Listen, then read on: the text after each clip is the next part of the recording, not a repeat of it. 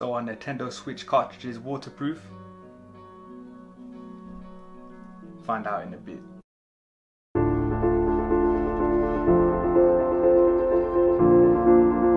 What is going on guys? It is Dylan from the gamingconsolesguy.com and in this video we're going to discuss our Nintendo Switch cartridge is waterproof. Well, short answer is no, long answer is no.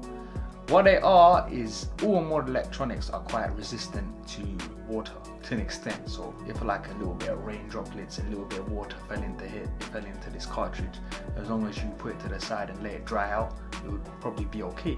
You know I mean? Even if I put, even if I quickly just dipped it quickly, it probably would be fine. But is it waterproof?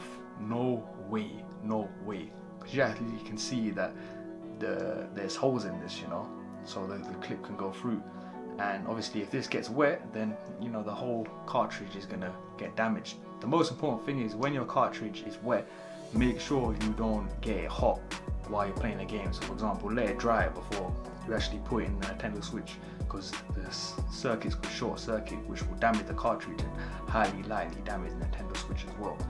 So I have another video where I go into a lot of detail on whether or not the Nintendo Switch is waterproof. But the fact is, I'll just quickly do a run through here. You look at the Nintendo Switch and you see what these are. They're holes, which means they're fans for, you know, Nintendo Switch gets hot, so water we will seep through this right into the motherboard and the circuits and just fry the console. It's the same thing with cartridges. Now they are taste resistant. If I took a bite of this, you know, it would taste like metal metallic, which Nintendo used to deter and stop kids from buying on the cartridge. But the simple fact is, Nintendo cartridges, they are slightly water resistant on the top, but you know, it probably could survive. It probably could if I dropped it in here, let it dry out for a bit, and then put in my Switch. It probably would work, but would I want to do that? No, I won't want to do it.